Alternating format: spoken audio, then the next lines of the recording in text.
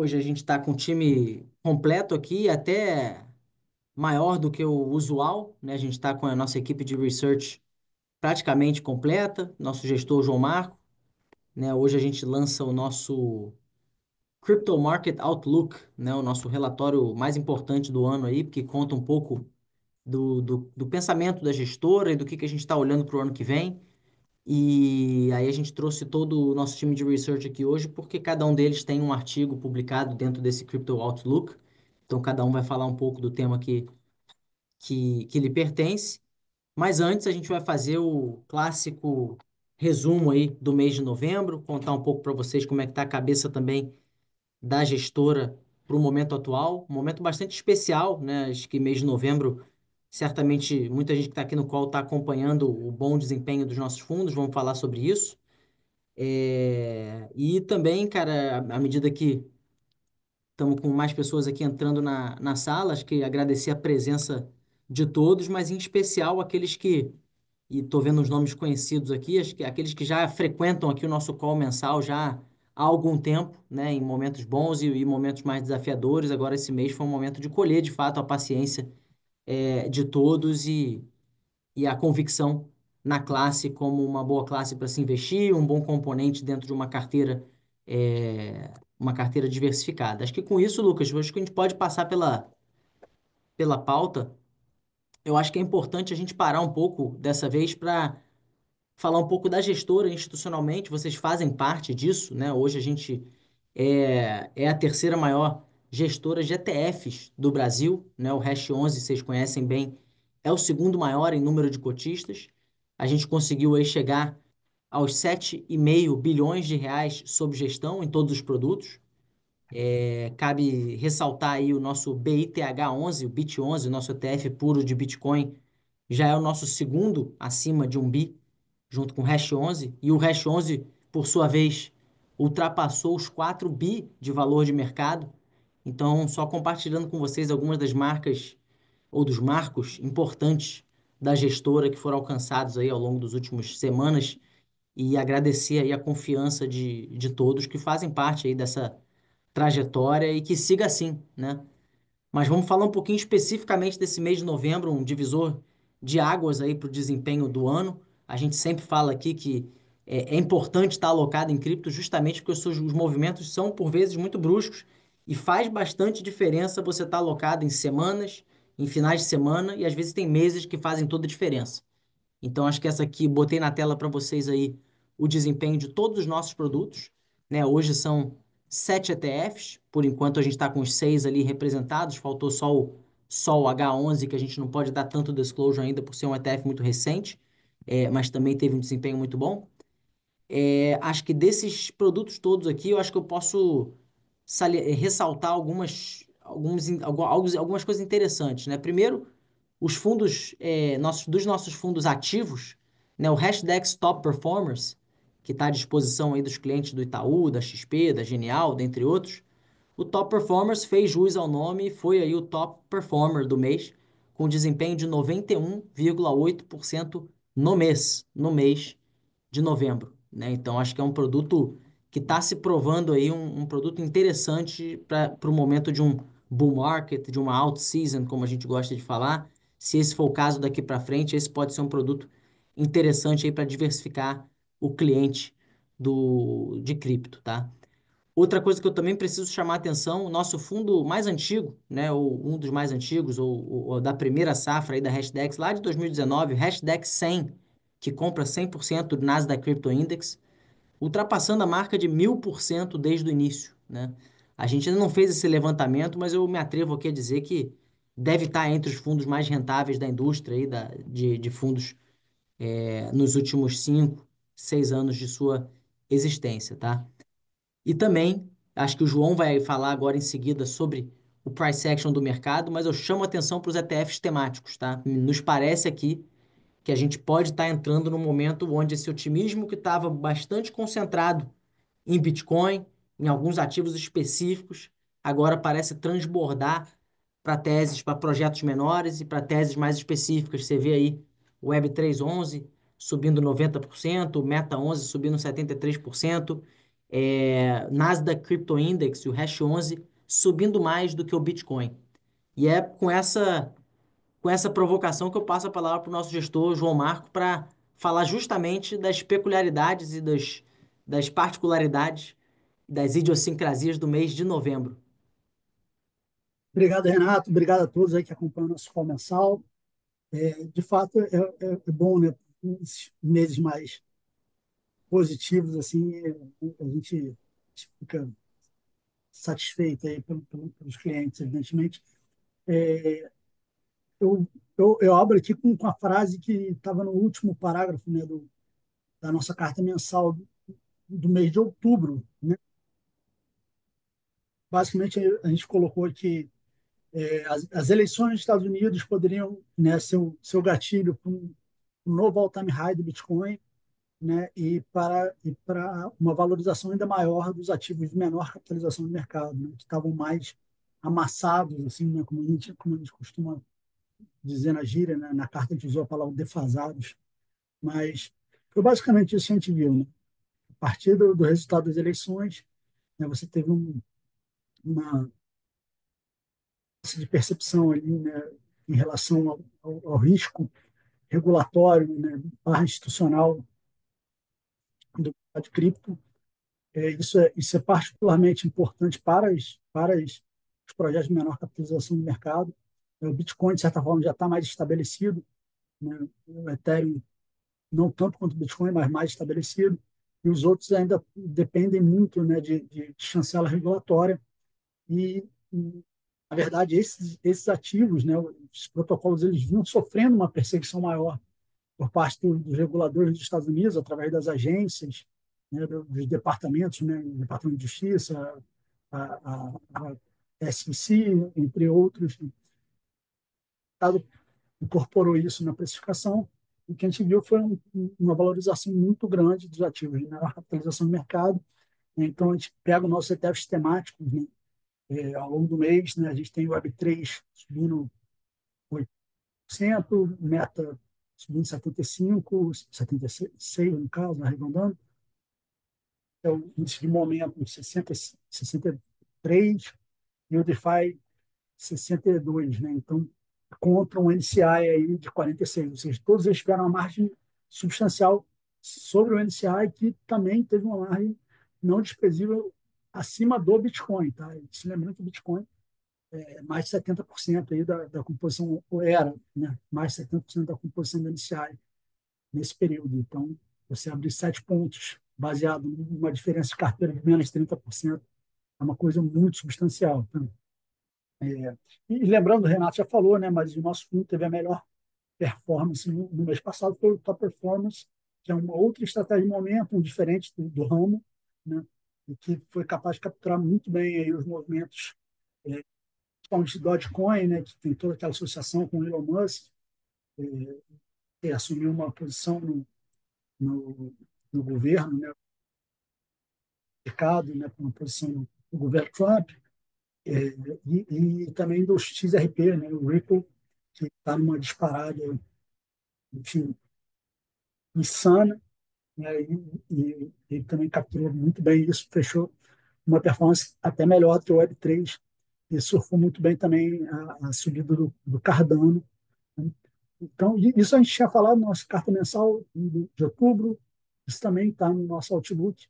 Né? E no Outlook a gente também é, a gente também traz as razões mais é, fundamentais para que a gente veja um movimento grande nesses ativos de menor capitalização do mercado, que a gente acha que o cripto está entrando numa fase de aplicações, né? ou seja, a gente criou, a gente, até agora, estava, de certa forma, criando a banda larga, né? e a partir de agora que a gente vai, vai ver as aplicações surgirem, né? o Uber, o iFood, enfim, essa analogia com, com a internet móvel. Né? Então, é, isso, isso, além da questão regulatória nos Estados Unidos, é um outro drive importante para a valorização né, dessas, dessas desses tokens de menor capitalização de mercado. É, pode passar, por favor. É. Mas, assim, quando a gente olha né, o ano inteiro, Bitcoin ainda está ainda tá performando bem melhor. É, você vê esses, esses índices temáticos, né, os índices com maior presença de ativos de menor capitalização do mercado, está recuperando parte das perdas relativas que tiveram né, ao longo do ano.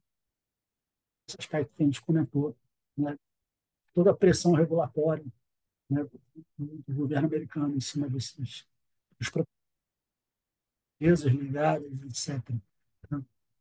Mas a gente está vendo isso como o início de um ciclo. Aí, enfim, dezembro e, e, e início do ano que vem, com certeza. Com certeza não, né? mas essa é a nossa expectativa. Pode passar, acho que já. Eu posso assumir rapidamente aqui, João, é, só passando mais por alguns dos gráficos que a gente é, sempre acompanha aqui no nosso call mensal, né? A gente continua seguindo essa, essas curvas de tendência de longo prazo, que eu acho que desde o ano passado aí a gente tem acompanhado junto com vocês. A gente está cada vez mais próximo disso que a gente tem chamado de valor justo ali para capitalização de mercado dos dois maiores ativos, né? O Bitcoin e o Ether.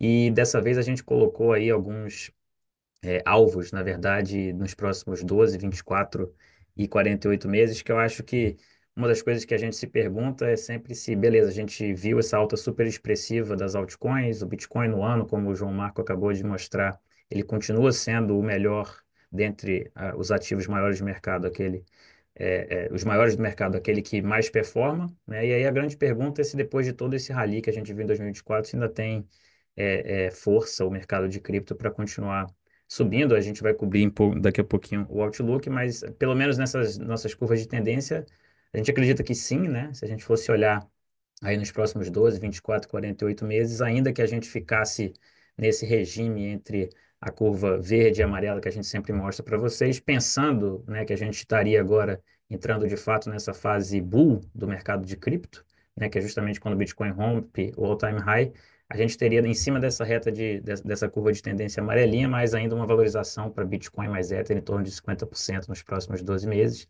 E aí, em janelas mais longas, né, talvez até um ciclo completo, que em geral dura quatro anos, a gente teria uma apreciação bastante relevante ainda. E eu acho que a gente vai falar de alguns catalisadores. Eu já comecei é, é, a mostrar essas cores, mas um que a gente continua acompanhando e tem engatado mais uma, uma, uma perna de alta desde o meados ali de outubro, é justamente o efeito é, é, catalisador do halving do Bitcoin, que até esse ponto ele, a gente estava há sete meses aproximadamente, meio que com Bitcoin lateralizado, e desde o final de outubro, começo de novembro, principalmente com as eleições dos Estados Unidos, a gente viu mais uma vez esse ciclo continuando a, a rimar né, com a história, com ciclos passados, e o Bitcoin começando de novo a ter essa aceleração de preços, é, quase tocando aí os 100 mil dólares até o final de novembro.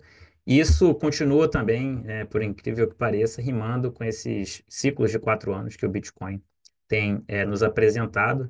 A gente acredita que desde novembro a gente entrou nessa fase bull, né? Por isso é, é, o título do nosso comensal de hoje, né? O bull market chegou e, e se a história de fato continua rimando com o que a gente viu em padrões passados, tudo indica que sim, né? E é justamente nesse momento que é, a gente precisa parar para pensar, bem, o Bitcoin já andou muito, o Ether no ano ainda está um pouco mais defasado, e as altcoins começaram a ter uma performance mais positiva desde novembro. Quando eu falo começaram, não cada uma isoladamente, mas em conjunto, a gente passou a ver as altcoins performando muito melhor. E, e o que, que a gente deve esperar agora para o final desse ano e 2025, né? É, e isso acho que introduz é, o, o, grande tema aqui, além da, da, atualização de novembro, do nosso Crypto Investment Outlook de 2025, que é essa ideia de que a classe de ativos ela está é, rumando aí ao, ao, mainstream, ou seja, ela está compondo os portfólios globais de todos os tipos de investidores e eu passo né, para começar a falar um pouco sobre esse nosso relatório que foi liberado ontem, é, eu passo para o Pedro Lapenta para ele começar um pouco a falar sobre o que, que a gente está vendo para 2025 e por que, que mesmo com essa alta expressiva de 23 e 24, a gente ainda continua vendo um ano possível muito, possivelmente muito otimista é, para 2025. Boa, Lucas. Obrigado. Obrigado novamente a todos. É, sinal de interesse grande, casa cheia, call lotado. E eu começo né, é, é, É, o Lucas e o, e o Yuri vão detalhar as teses de investimento, né? Os principais que, que, que essa classe de ativos no, nos, nos permite hoje, né? Que é a tese de, né, da, da, reserva de valor digital emergente, que é a tese do Bitcoin, né? É, líder em contest, com seu melhor momento, talvez na sua existência. E o Yuri vai passar um pouquinho, né, para falar o que está acontecendo em tudo que é o resto né, que envolve essas plataformas de contratos inteligentes e as aplicações que são rodadas em cima, né? E, e eu, eu, a gente vem pensando bastante sobre esse tema, né, sobre esses temas e sobre a indústria. Vocês vêm nos, nos acompanhando há bastante tempo. Acho que a gente está conseguindo trazer uma, uma, uma, mensagem consistente, né? E, e, e eu acho que 2024 está marcando assim um, um ano muito importante é, para a indústria e faz até a gente pensar assim na, na revolução que isso tudo está causando, né? É, é, é, o Bitcoin sendo se tornando aí um, um, um, ativo de classe global, né? É cada vez mais presente nos portfólios globais, com função de diversificação, com função, com função de exercendo função de, de, de reserva de valor, né? Em todos os portfólios do mundo afora e as, e as, plataformas de contrato inteligente entrando numa nova fase, né? Então, assim, pô, será que a gente está na frente de uma revolução do capital em si com o Bitcoin e uma revolução dos trilhos financeiros com, com, com o que vem dessas plataformas de contrato inteligente e suas aplicações? A gente acha que sim. Então, é um pouco dessa, desse que é o tom que a gente, que a gente é, dá para 2025, né? É, é, estamos num momento muito, muito interessante, né? Obviamente tem esse ciclo de, de, de curto prazo que o Lucas explicou relacionado ao halving, né? Esses, esses quatro anos, né? Ciclo bear, bull, de consolidação, tem, tem tudo isso, mas acho que vale a pena destacar né, o que está acontecendo é, é, é, de bom por trás, né? Então, assim, é, é, é muito legal acompanhar o que está acontecendo. E, e, a gente entra num momento, né? Você tem a questão da tecnologia, mas tem também a questão de adoção, utilidade e regulação. E a gente vem um, a gente entra num momento agora que, que os Estados Unidos, né, por ser o maior mercado de capitais do mundo, o, o, o regulador mais influente, o centro de inovação que sempre foi, estava é, atrasado, né? E, e acho que a eleição embora a gente já viesse, né, o, a indústria se organizou e a gente vinha otimista com questão de regulação, o fato do jeito que foi é, a eleição americana, né, e a gente falou isso no último call, é, é, o, o, Donald Trump botou isso como parte do programa dele, né, então ele vai até, já até acabou de anunciar o novo é, é chairman da SEC, enfim, então a gente acha que vai entrar numa fase aí de de, de, de, de, de claridade, de clareza regulatória, né, é muito importante para a indústria, principalmente para o que tange tudo que é de plataforma de contrato inteligente e aplicações. O Yuri vai mencionar um pouquinho sobre isso. E a gente está vendo até em preços já, é, reagindo um pouco a isso, né, que, que, que, a gente poderia chamar em, em terminologia de investimento, né, está tendo um de-risking regulatório, né, um, uma redução de risco regulatório, e você vê em todos os tokens né, e projetos que, to, que, que necessitam de, de clareza regulatória, estão tendo uma, uma, performance mais robusta desde, desde a eleição. Né? Então, assim, é, com tudo isso, né, e, e eu, eu, vou deixar para o para o Lucas e para o Yuri né, é, destrincharem as, as, teses de investimento e darem um pouquinho mais de, de, de atualização, né, é, é, a gente acha que está, né, mesmo tendo toda essa alta toda ao longo de 2023, 2023 foi mais recuperação, 2024 já mostra um sinal já mais de consolidação com tendência de alta, mas assim, a gente continua ainda enxergando é, é, cripto talvez como a melhor oportunidade de investimento disponível em todas as classes de ativos no mundo hoje. Né? Então, é uma oportunidade geracional. Nós estamos consistentes aqui na, na, na, na, mensagem faz dois anos e pouco e, e batendo nessa tecla. É, espero que vocês que, que vêm seguindo a gente aí tenham acreditado em tudo que a gente tenha falado, tenham participado dessa recuperação de preços. Mas é, é, é isso que a gente vê, uma, uma grande oportunidade geracional ainda em vigor. E eu arrisco dizer que a gente vai olhar daqui cinco anos, vai voltar e vai falar que né, cripto terá sido a melhor classe de investimento né, é, entre todas e com muita distância do segundo lugar. Então, enfim, esse é um pouco da, da, da nossa visão de, de, do que vem por aí.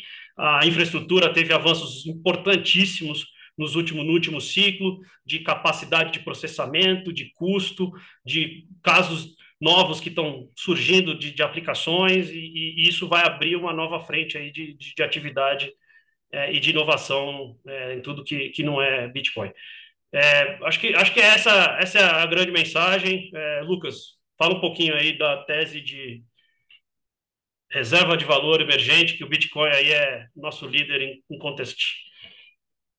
Maravilha, Pedro. É, eu acho que é exatamente isso. 2024, a gente já, já. Acho que você mesmo, ano passado, no nosso Outlook para 24, escreveu que esse era o primeiro ano da fase institucional dos criptoativos, né? E o Bitcoin, em particular, nesse ano rompeu uma barreira muito importante, que é de fato ter no maior mercado de capitais do mundo, os Estados Unidos, a aprovação dos seus ETFs à vista, né, que foram aprovados ali no dia 10 de janeiro, e de lá para cá o resto é história. A gente viu.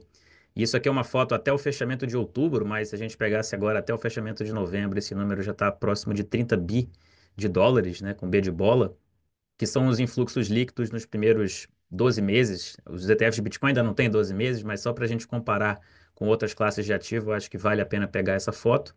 E a gente viu nesse ano o Bitcoin tendo seus ETFs com uma adoção, né, que hoje já toca bastante no público institucional, é, com, uma, com, uma, com uma adoção bastante relevante. 24 bilhões de dólares para o lançamento de um ETF monoativo nos Estados Unidos é um recorde histórico, né? apesar de você ter vários produtos, de fato a gente viu inflows muito relevantes. E quando a gente compara com lançamentos de outros ETFs importantes, como o de Nasdaq 100, o de S&P 500 e o próprio de ouro físico, né, que seria a grande contraparte tradicional do Bitcoin, o Bitcoin sendo o ouro digital e o ouro tradicional sendo o ouro analógico, a gente vê um, um, um, múltiplo muito relevante, mesmo se a gente ajustasse pela inflação nos períodos aí, né, de, desde o lançamento até aqui, a gente vê que o lançamento dos ETFs de Bitcoin foram muito, é, é, esse lançamento foi muito é, é, teve muito sucesso, foi muito importante. E é pela primeira vez essa barreira né, institucional ela foi quebrada, uma vez que você tem produtos estruturados, regulados, né, com o selo SEC, talvez o regulador mais importante aí do mundo para o mercado de capitais, ou um deles, né, de fato trazendo esse, esses veículos para o mercado americano e agora sim grandes pools de capital que talvez estivessem ali esperando para esse grande movimento passarem a acessar né, o investimento através de um produto regulado. E um grande exemplo, eu acho, desse ano foi já a adoção de ETFs de Bitcoin. Os ETFs de Ether também já têm alguma adoção, mas os de Bitcoin em particular por fundos de pensão. Eu ressalto esse ponto porque a gente sempre fala que cripto é uma classe de ativo com mais risco, mais volatilidade, mas o potencial é, assimétrico né, dessa classe de ativos e o seu poder de descorrelação, de composição de portfólio, passa a ser visto como algo positivo, inclusive para aqueles investidores que talvez sejam os mais conservadores. Né? Eu acho que fundos de pensão passando a alocar no principal criptoativo do mercado, uma vez que essa clareza regulatória chega para ele no maior mercado de capitais do mundo, é uma demonstração de que essa fase institucional parece não só que está começando, mas que deve perdurar aí nos próximos anos. Eu acho que isso se conecta diretamente com o que o Lapenta acabou de falar. A gente tem no curto prazo, possivelmente, o efeito cíclico né, de cripto sendo muito importante, mas essa adoção institucional não deve ser passageira apenas nos, 12, nos próximos 12 meses. A gente acredita que, na verdade, assim como talvez tenha sido os outros ETFs para as outras classes de ativo, que, na verdade, isso seja o início de uma onda institucional que deve durar é, é, a próxima década. Né? Então, essa é uma oportunidade muito importante e entender é, isso é, é, é fundamental para ver onde que a classe está hoje e, assim, dado que o Bitcoin não é a única coisa que tem dentro da classe de ativos e essa adoção institucional do ativo tem sido muito relevante nesse ano, o que mais a gente espera para a cripto nos próximos meses, né? E nos próximos anos? Eu passo para o Yuri para ele falar justamente sobre isso. Maravilha, Lucas. Super obrigado. E é curioso, né? Porque diferentemente da tese de reserva de valor digital, como você estava apresentando agora, na qual a gente tem um único grande ativo que representa a totalidade quase, se não absoluta, da, do que tem de valor sendo gerado no mercado, quando a gente tenta olhar para o resto, é um pouquinho mais difícil. A gente tem uma variedade de projetos muito grande. Eu lembro que no Outlook que a gente fez em 2022, a gente estava tentando talvez implementar a noção de que a rede Ethereum era talvez a principal blockchain que fosse representar essa infraestrutura preponderante na qual todas as grandes aplicações que a gente ia observar nos próximos anos ia ser construída.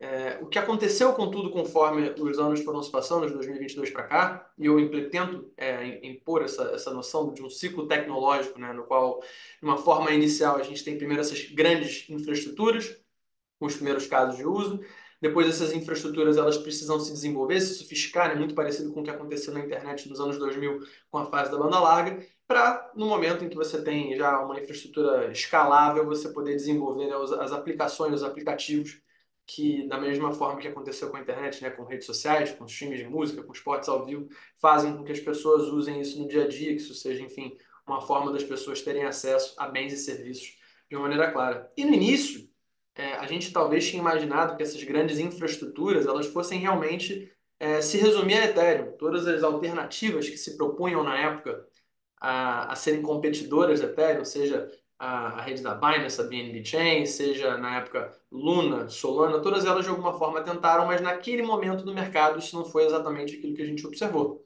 Contudo, com o passar do tempo, sobretudo de um ano para cá, o que a gente observou foi cada vez mais essa, essa, essa noção de que a Ethereum seria com certeza a grande vencedora, ela passou a ser um pouco desafiada. A gente passou a, a, a ter um pouco mais de dúvida em relação a, diferentemente como eu falei agora, né, do mundo de, de, de, de reserva de valor, como a gente tem o Bitcoin Player absoluto, que a gente acredita que vai estar aquele que é 50 anos como o grande vencedor, começa a ter um número aí de candidatos interessantes como propostas de dividir talvez esse, esse mercado de infraestrutura. A gente tem na Solana talvez um, um paralelo para uma Nasdaq descentralizada. A gente tem blockchains como a Tom, né, até do, do pessoal do Telegram, que tem uma integração interessante com uma plataforma que já tem uma base de usuários legal. A rede Tron é uma rede que tem muito, é, muita dominância no que diz respeito à emissão de stablecoins na Ásia. Então, assim, essas alternativas, essa noção de um mundo multi-chain, fez com que a competição entre esses diferentes blockchains nos últimos meses permitisse, enfim, approaches diferentes e trouxessem uma, uma escalabilidade muito mais alta, transações mais baratas, casos de uso um pouquinho mais é, compreensivos. E isso faz com que hoje a gente esteja talvez passando né, dessa segunda fase que a gente tem essa, essa, esse amadurecimento da infraestrutura para o início dos primeiros casos em que a gente observa, né, talvez é, para os próximos meses, e a gente entende né, que um ambiente regulatório mais claro nos Estados Unidos vai ser muito importante para que esses diferentes projetos eles possam nascer e ter um ambiente regulatório claro, né, para, enfim, como vão suportar e ser introduzidos no mercado. Mas a gente teve agora, na, na, nas próprias eleições, em alguns casos de uso interessantes. A gente teve o polymarket, né, esses mercados de previsão tendo muito destaque e acruando o interesse das pessoas e capital depositado, obviamente. O Oldcoin foi um projeto também que o pessoal lá do Sam Altman, né, do ChatGPT, é, foi também, enfim, um, um, projeto de descentralização da identidade, que foi um caso de uso legal. A gente tem redistribuição de GPUs, é, enfim, é uma infinidade de grandes projetos que aos pouquinhos vem tomando um pouquinho de forma. E como o Lucas até citou, né, a gente está numa era de implementação de aplicações institucionais. Né? Então, a BlackRock, Franklin Templeton, toda essa grande enxurrada de projetos que envolvem tokenização de securities e todos os outros ativos no mundo real, isso está vindo. Então, assim, é, um pouco da noção do que eu tento passar é, na, nesse pedaço do Outlook é como essas diferentes propostas podem eventualmente nos levar a termos as primeiras grandes aplicações nas quais as pessoas usam blockchain sem efetivamente se preocupar se estão usando blockchain ou não. Elas estão consumindo um produto, adquirindo um serviço, e aquilo, o bem-estar inerente de você estar usando esse serviço é suficiente para ela é, derivar algum valor de lá. Então, isso é um ponto que a gente desenvolve um pouquinho, e também entender né, como essas eleições norte-americanas podem, inclusive, não somente permitir novos casos de uso, mas pegar casos de uso que já existiam, né, que vocês têm é, os casos primitivos de, de finanças descentralizadas. Eu trouxe aqui o exemplo de Uniswap e Aave, né, que são protocolos dentro desse mundo de DeFi que geram um fluxo de caixa. Como é que esses players também, que já têm algum nível até de validação, você não precisa se preocupar muito se é uma tese que vai dar certo ou não, já tem uma base de usuários, já tem centenas de milhões de dólares lá depositados, como é que esses caras conseguem também revolucionar os seus respectivos modelos de negócio para poder, enfim, entregar mais valor para a sociedade, eventualmente redistribuindo fluxo de caixa ou algo do gênero. Então, a ideia nesse próximo ciclo, no que diz respeito tanto à infraestrutura quanto às aplicações, é a gente observar, né, assim, um, dois anos daqui para frente, o que, que nessa bull run a gente vai deixar de legado para as pessoas é, que não sabiam nada de cripto, às vezes nem ligam muito para cripto, mas que devido a esse modelo de negócio diferente, devido às disrupções, às facilidades que a tecnologia blockchain pode permitir, como é que esses caras que não estão aqui pelo, pelo, pelo, pela tecnologia, mas pela, pela geração de receita, como é que esses caras podem se beneficiar durante os próximos meses? Então é um pouco disso que a gente tenta passar na minha parte do Outlook. Passa a bola agora para o João. E antes do João, antes do João comentar, pessoal, acho que a gente está aqui totalmente à disposição e vai sobrar um tempinho aqui no final para a gente é, ter algumas discussões e responder eventuais dúvidas aí e, e temas que vocês queiram levantar, tá? Então fiquem à vontade de jogar ali no Q&A ou no chat pra gente algum tema ou pergunta que vocês tenham. Mas fala aí, João. Beleza, vou tentar ser bem breve aqui, é, já está no horário avançado. É, basicamente, o que eu, tento, que eu tentei trazer nesse Outlook, né, que é assim, essa interseção entre macro e, e, e cripto, né, é mostrar como, como o cenário macro ele está é, apontando né, para uma direção que seja ainda mais benéfica para cripto né, do que foi esse ano que a gente está. Né? Então, a expectativa é que o ano que vem o corte de juros seja maior do que o corte de juros que a gente teve esse ano nos Estados Unidos. Né? É, o CPI, né, o core CPI, né, a inflação núcleo lá do, dos Estados Unidos também, ela está prevista para perto de 2,2%, muito próximo da meta. E a gente, além, além dos Estados Unidos, a gente está vendo outras economias também né, trazendo estímulos, né, particularmente a China, a segunda maior economia do mundo. Né?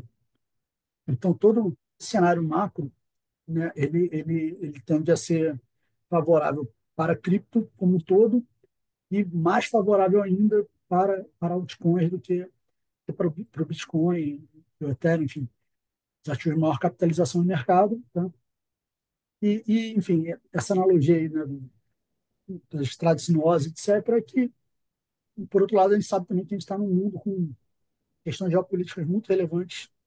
Né? A gente tem duas guerras relevantes na Europa, né? com o envolvimento agora da Coreia do Norte, enfim, também, é, e o Oriente Médio também, com, com Israel ali em diferentes frentes. Né? Tem toda a questão de Taiwan com a China ainda, que, que pode ganhar novos contornos, aí, principalmente com, com a eleição do Trump. Então, só por aí, né, tirando as coisas, digamos, de mercado, é, que sempre, sempre podem trazer surpresas, né? É, como, como a gente viu agora com o Japão em agosto, né? que, que aumento da taxa de juros causou ondas sísmicas aí nos mercados globais e cripto não ficou de fora. Então, certamente, assim, a gente tem que estar atento, longe de dizer que não tem riscos, mas que a gente está querendo trazer como mensagem que o cenário macro tende a ser mais positivo do que foi esse ano. É, e, e ainda com impactos potenciais ainda maiores nos ativos menores. Esse, esse é o, essa é a mensagem principal desse, desse artigo que eu assinei no nosso Outlook. Boa, João. Boa, pessoal. Então, uh, o nosso Outlook está oficialmente lançado aí. Acho que além de rico em conteúdo, acho que o design ficou bem legal também, bem bonito aí, um relatório bem agradável de, de, de manusear. É, tá aí o link para vocês baixarem, vai estar tá no nosso site também. E a gente vai mandar também para os assessores que têm contato com a gente. A gente deve circular o link também é, é, para vocês. É, cara, o mais difícil aqui, a pergunta mais difícil aqui que o Gui fez aqui para os nossos panelistas, tá? E aí, quem se candidatar para responder, pode mandar brasa. Alguém pode prever a data do início do inverno? Pô, a gente mal começou o verão, o pessoal já está no, já tá no inverno, mas eu, eu, entendo essa pergunta porque... Hemisfério Norte ou Hemisfério Sul? ah, cripto é global, vai chegar, vai, o inverno vai chegar junto para todo mundo e, e é uma pergunta válida, porque a gente sabe que é, é mais difícil ainda do que ganhar dinheiro e, e ter um desempenho bom no mercado de cripto, é difícil saber o momento de rebalancear, o momento de eventualmente diminuir a exposição, porque a gente sabe que no passado as correções foram duras e mesmo quem tinha ganhado ali é, é, uma boa rentabilidade acabou abrindo mão de uma boa parte. Então, o momento de sair, às vezes, é tão. ou, ou de diminuir, melhor dizendo, às vezes é mais importante do que o, o próprio momento de entrada. Alguém se arrisca em, em, em fazer uma contribuição eu aí posso, do início Eu posso dar, um, dar uma, uma pequena groselhada aqui, como te, te Depois eu, eu preencho a sua groselha aí também, ó. Pô, sempre bem-vinda. Mas o é, que, que, que, que a gente viu nos últimos dois, dois ciclos, tá? É, no ciclo de, de 2018, né, 17 para 18, é, o, a queda, né, o, o, digamos, a música parou de tocar, né, e, e a festa acabou, foi ali quando teve o lançamento dos futuros, né, e você tinha uma grande expectativa ali de que, que ia ser uma institucionalização dos mercados, etc. E acabou que não, não foi exatamente isso que se viu. Futuro de Bitcoin na CB. Tá? É, e, e, no último ciclo, tá? a gente. É engraçado, né? Que parece que foi ontem, mas a gente estava ali na final de 2021 falando da variante Ômicron, se eu não me engano, da Covid, que ia ter uma, um, um quarto surto mundial, guerra na Ucrânia começando e, principalmente, o cenário macro é, é, se deteriorando, né? a inflação acelerando loucamente e a expectativa é que você teria que fazer um aperto monetário muito substancial. Né? É uma virada, uma guinada forte na política monetária né? é, global. E é difícil, é difícil afirmar categoricamente, mas não me parece que, que esses elementos vão estar presentes, pelo menos quando a gente pensa no ano que vem. Né? É, e, e, obviamente, a, a, a, o padrão cíclico do mercado cripto ele, ele, ele, ele, é, ele é muito evidente, ele é muito pronunciado. E, e, e, e leva a gente a se questionar vai acontecer de novo, como é que vai acontecer, quando vai acontecer. Mas o que eu, o que eu tenho a dizer é assim, se a gente não tiver uma, alguma coisa muito radical do ponto de vista macro, a gente pode sim ter uma correção, evidentemente, mas eu acho que o mercado hoje em dia está mais forte, está muito mais forte do que estava nos últimos dois ciclos, tá? É, e, e então, quando a gente olha para, voltando aqui, 2018 foi uma coisa muito interna no mercado cripto. 2022, você teve um componente externo e muitos eventos idiosincráticos do mercado cripto, né? Terra Luna, é, FTX, Celsius, enfim, vários problemas internos que foram, digamos, disparados pelo, pelo cenário macro. O cenário macro não, tão, tão, não tão ruim, você tem um nível total de alavancagem interna no, no setor cripto menor. que a maioria dos agentes, digamos, mais é, destemidos ali acabaram morrendo em 2022.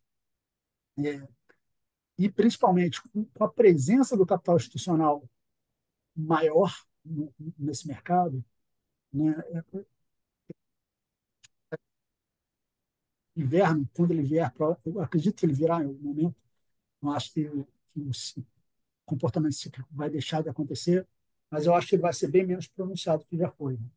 Assim, lembrando que a importância do capital institucional, que é, é aquele capital que, que pode é, fazer, pode comprar no momento que pode dar liquidez para o mercado, para que no momento de queda é, uma pressão vendedora não tenha um impacto tão grande quanto tem é, quanto tem em, em, num cenário de menos liquidez. Então, né, assim, fazendo a, fazendo a continha, né, foi em 2018, 2022, seria no ano que vem, no outro ano, 2026. Obviamente, parece um relógio, mas não é. é mas eu, eu, eu, diria que eu espero que seja, um, que seja um, um inverno mais quentinho. Acho que o aquecimento global aí vai chegar a cripto também. É, antes do Pedro completar, acho que vale até a gente ressaltar, tanto falamos sobre aquele gráfico que o Lucas chegou até a apresentar no call de hoje, dos ciclos de mercado, como eles respeitaram tradicionalmente. Então, assim, até existe, obviamente, se a história rimar, algum grau de previsibilidade, como o João colocou, mas acho que o que vocês podem contar nos próximos calls, que a gente pode fazer com um pouquinho mais de é, capacidade de propriamente prever qual dia em que o mercado vai virar, é estar muito atento em relação a quais são os black swans, né, os cisnes negros para os quais vocês, como investidores, devem ficar atentos. É, a gente nunca sabe quando algum desses canos pode estourar, mas é bom, enfim, saber como é que está a situação por trás da parede. Boa. Eu, eu... É, e Lapenta, se se eu puder só adicionar aí uma outra pergunta dentro da sua parte aí da, da resposta, que eu acho que tem tudo a ver, o nosso grande parceiro aqui, assessor de investimento Felipe Verca, que gosta muito de cripto, também perguntou sobre uma visão nossa é, sobre o ciclo se alterar um pouco. Ele fala de adesão de institucional, é, políticas pró-cripto, é, se por um lado o, o Gui perguntou aqui sobre data para início de inverno, acho que o Felipe está dando o outro lado da moeda aqui, né? Talvez uma po- postergação desse inverno e uma quebra desse relógio que o João chamou aí na, na resposta dele. O que, que que você tem a dizer sobre isso? É, o, o, não, o João, o João já colocou bem aí, né? é, o Bitcoin, né, sendo o ativo maior aí e ele tendo essas características rígidas de política de emissão, com altíssima previsibilidade, mutabilidade, essas coisas todas, né? Ele criou esse ciclo aí de quatro anos e ele, ele ainda é o grande driver da indústria de, de, de cripto, né? E não, não, nada, nos, nada nos faz questionar que isso não, não deva continuar nesse, ter, nesse quarto ciclo de halving que está acontecendo, né? Então, é, é, a gente tem as ferramentas que a gente vem colocando à disposição de vocês para navegar, né, que são esses gráficos de ciclo que a gente vem fazendo, o gráfico de halving, essas coisas todas, né, e está tendo bastante aderência, então nada, nada aponta é, para a gente é, mudar as ferramentas que a gente está usando para achar onde a gente está dentro do ciclo, né, então, mas assim, ao mesmo tempo, né, é, e, e, e a gente está tendo entrando nessa fase de institucionalização da tecnologia, né? É, não me fecha a possibilidade da gente ter um, um ciclo um pouquinho diferente, dado essa fase toda de, de, de, de adoção que está acontecendo. Né? E lembrando né, que assim, o, o existe para essa tecnologia, né, é, diferentemente de ações e bonds, né, que são só instrumentos financeiros, né, no caso de plataformas de contratos inteligentes né, né e, e algumas aplicações, esses tokens também têm utilidade né? Então, que traz um driver de, de demanda adicional, né? e não somente demanda de, de investimento. No caso do Bitcoin, você pode, você pode fazer o argumento né, de que boa parte da demanda por ele é para investimento, que o Bitcoin é um, é um bicho que você compra para, hoje, atualmente, né, as pessoas têm comprado para armazenar, mas é, boa parte da, né, nessa questão que é de toda de, de, de infraestrutura e aplicações, os tokens também são utilizados para né, é, transacionar nessas redes, né? então você cria um novo, uma nova força. Né? E, e, e, então, assim, eu não, eu não excluiria a possibilidade de, de a gente ter algo diferente, sim, nesse ciclo. E, e, e não é à toa né, que esse ativo, esses ativos todos digitais, têm um pouquinho de descorrelação. Né? E a gente acha que vai. É, não, pouco não, tem bastante descorrelação. Né? E a gente acha que isso deve continuar ainda, porque são drivers diferentes. Né? Então, a gente, como está numa fase. Lembrando, né, pô, esse ano, a gente começou o ano achando que te, é, terminaria o ano com, sei lá, taxa de juros dos Estados Unidos em 2% de volta. Né? Um, no começo do ano a gente falava de 200, 250 vezes de corte, até mais em algum momento, e terminou que não foi nada disso, mas independente disso, cripto andou e andou muito forte. Né? Então, é, é, é aquele driver macro que a gente estava achando que, que seria, a, na minha opinião, a questão de demanda institucional e, e, e adoção e tal foi maior e descorrelacionou. Então, eu acho que a mesma coisa pode acontecer em 2025. E quem sabe mudar um pouquinho, talvez, a intensidade do bear market, ou talvez vai aparecer compra, vai aparecer demanda por utilidade, que vai suavizar os ciclos daqui para frente, porque a adoção e utilidade está crescendo. Se não tivesse isso, eu acho que talvez a gente tivesse ciclos mais parecidos. Mas uma, uma resposta longa aí para a pergunta do Felipe, eu acho que talvez a gente tem que estar tá aberto sim a possibilidade de ter algum, pelo menos de intensidade menor, né, ou talvez um pouquinho diferente o ciclo agora. O João quer adicionar alguma coisa? Só uma coisinha, né, que a gente aprende aqui um pouco olhando o mercado, né, e, e o, os ETFs eles acabam tendo um papel contracíclico, tá? no mercado de cripto. Tá? Então, explicando rapidamente como é que isso acontece, quando o preço, por exemplo, do Bitcoin sobe, é, o ETF de Bitcoin ele acaba não subindo na mesma velocidade, ele fica um pouco defasado. O mercado ETF ele não é tão veloz quanto o mercado cripto, e isso faz com que os market makers e arbitradores eles comprem é, é, Bitcoin no mercado. Eles vendam Bitcoin. Eita, agora, agora deu, deu, deu um tilt aqui na, na, na. Mais fácil fazer o raciocínio contrário. Quando, quando o mercado é, cai, tal, o, o, mercado de ETFs cai um pouco mais devagar, isso gera oportunidade para o market maker é, tá comprando no mercado secundário e desfazendo no mercado primário. Então, acaba que, o, que o, a dinâmica de, do, do market maker operando no, no mercado ETF faz com que ele vá um pouco na direção contrária, ele acaba funcionando um pouco como um amortecedor. E se, tiver um, se a gente passar por esse ciclo, quer dizer, isso a gente observa aqui na Europa, etc., e a gente acredita que nos Estados Unidos é semelhante. Então, se a gente passar de novo por esse ciclo, vai ser a primeira vez que vai ter um mercado americano é, com todo esse tamanho que a gente, que a gente viu né, de ETFs, é, na, é, todo esse volume, né, essa potência toda. Então, isso por si só talvez já, já seria um belo amortecedor assim, para esses impactos que vêm do, do mercado cripto. Né? Então, vai ser a primeira vez, eventualmente, se tiver, mas é, tende, tende também a ser um efeito suavizador no ciclo. Boa, e, e Lapenta, você mencionou ali a, a expectativa de queda de juros que era grande no início do ano, e aí o Leonardo, nosso ouvinte Leonardo aqui, perguntou um pouco sobre quantitative easing, né? E se a gente pode ter ainda quantitative easing, esse bull run, se isso deve continuar é, ajudando, né? A gente já teve aí as primeiras quedas de taxa de juros nos Estados Unidos, mas acho que ele quer um pouco mais de quanto que esse macro aí, taxa de juros nos Estados Unidos ainda podem continuar e ajudar o ciclo atual. Ah, eu, eu, eu tenho uma opinião que, que é, os mercados estão querendo taxa de juros mais baixas, tentando forçar o Fed a isso, mas o fato é que a economia americana está muito pujante, né? Então, é, é, parte da resposta de que não foi cortado os juros esse ano, mesmo com o começo do ano, as curvas de juros futuras estavam né, precificando cortes, mas aí foram retirados ao longo do tempo, ao longo do ano. É, é, eu acho que existe essa chance igual agora ou parecida ao longo de 2025, porque todos os dados da margem vindo da economia americana estão vindo muito fortes, né? Então, é, é, não sei se se, se o Fed tem estímulo é, suficiente para cortar juros. Mas dito isso, né, assim, não, não, de novo, né, é, não foi só cripto que teve um ano bom, mesmo não tendo corte de juros, né, o Nasdaq bateu recorde, S&P batendo recorde, e, então, assim, não foi impeditivo para a performance dos ativos e, e mas eu não sou, não sou, não sou macro, posso estar completamente errado aqui.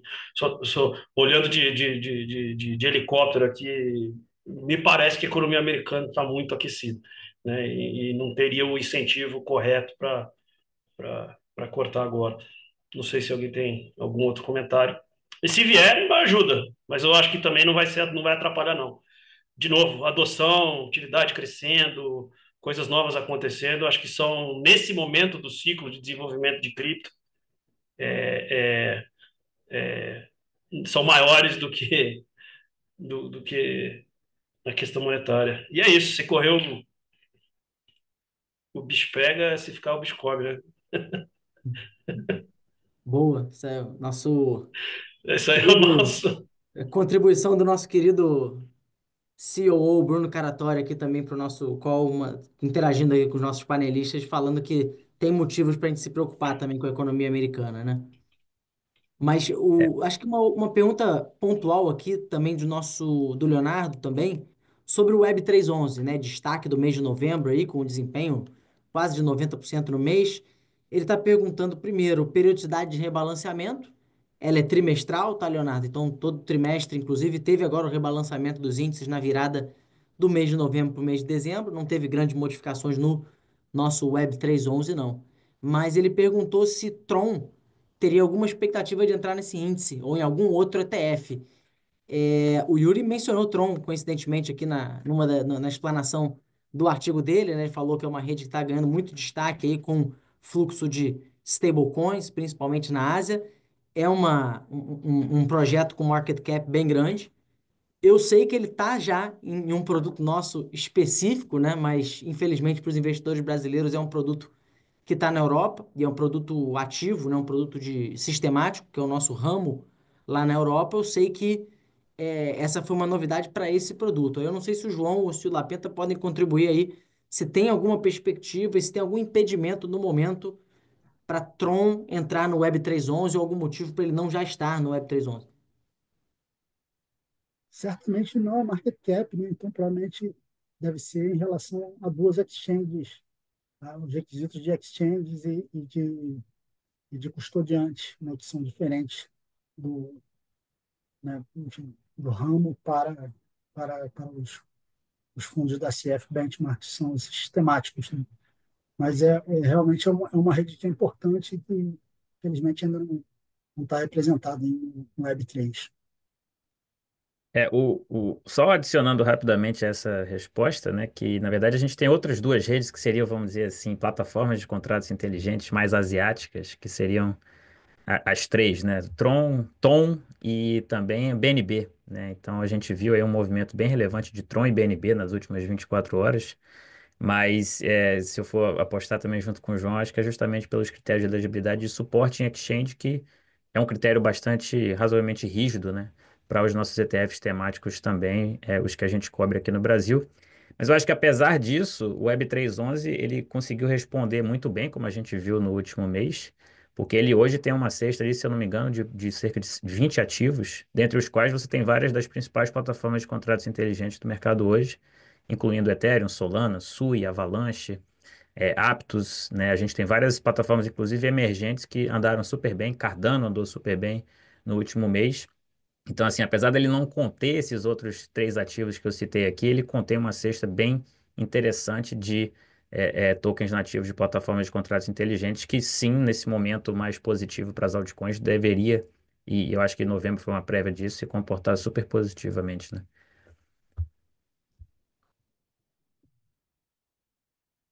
Boa. Não, perfeito, pessoal. E acho que a gente tem aqui também uma pergunta relativa, uma pergunta bem específica aqui sobre ETFs na, na Irlanda, né? Hoje a hashtag está presente em, em alguns países, né? Inclusive na Europa, vários, né? É, é, países da União Europeia, principalmente, Alemanha, Suíça, dentre outros, mas Irlanda não. Não, não sei. Eu teria que fazer uma pesquisa aqui mais aprofundada sobre é, é, especificamente regulação na Irlanda. Não sei se algum dos nossos panelistas sabem se lá já tem produtos regulados de cripto. Eu acho que aqui no Brasil, é, para a gente parece ser normal, né? A gente tem Hash 11 desde 2021, fundos de investimento, cestas de criptoativos desde 2019. Parece uma coisa normal você ter à disposição dos clientes é, é, é, produtos regulados de cripto e cestas. Nos Estados Unidos, foi só a partir de janeiro que eles tiveram ETF de Bitcoin especificamente, né? E, e eu lembro quando a gente em algum momento esse ano, eu lembro do Lucas me falar que, é, é, e eu confirmei essa informação, que não, era, não passava de 10 ou 12 países né, que tinham investimentos regulados em cripto, ou seja, produtos de cripto no mercado financeiro tradicional. Então, teria que ver como é que é o status aí da, da Irlanda no quesito produtos financeiros, mas acho que o, o residente irlandês, ele tendo acesso à bolsa de valores é, é, de algum país específico da Europa que a gente tenha produtos, ele já pode possivelmente ter acesso aí ao Nasdaq Crypto Index é, Europa, né? Poderia ser um, um caminho aqui. Não sei se os nossos panelistas aqui têm alguma contribuição sobre esse tema.